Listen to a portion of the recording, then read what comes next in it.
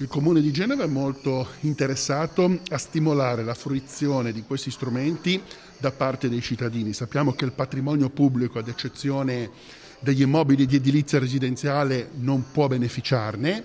Sugli immobili di edilizia residenziale attraverso Arte stiamo lanciando dei progetti di partenariato molto importanti per l'efficientamento energetico.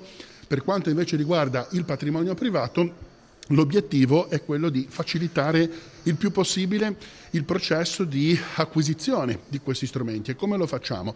Apriremo due sportelli, uno generalista ai magazzini dell'abbondanza che darà informazioni a tutti coloro che sono interessati. Spesso notiamo che c'è una barriera all'accesso perché c'è una difficoltà nel capire questi strumenti, quindi noi ci proponiamo di spiegarli ai cittadini, ma non solo, per quanto riguarda il piano di rilancio del centro storico, di riqualificazione che abbiamo lanciato, l'obiettivo è quello di andare a bussare porta per porta, casa per casa, a tutti i proprietari per incoraggiarli a fruire di questi strumenti.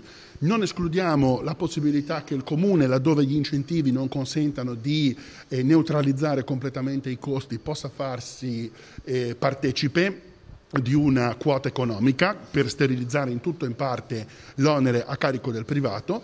Dopodiché avremo invece uno sportello specialistico per le imprese, per i professionisti, per semplificare il più possibile il disbrigo della parte burocratica. Mm, dobbiamo assolutamente evitare che le imprese, i professionisti si perdano negli uffici comunali. È ovvio che ci sono più uffici che devono esprimere pareri, quindi ci sarà un unico front office dove la pratica viene consegnata e chiaramente viene autorizzata, così semplificando e facilitando il più possibile il percorso. Lo sportello presso gli uffici dell'urbanistica di fatto è già operativo, eh, dalla scorsa settimana dobbiamo adesso eh, dire, impegnarci per eh, divulgarne la, la, comunicazione.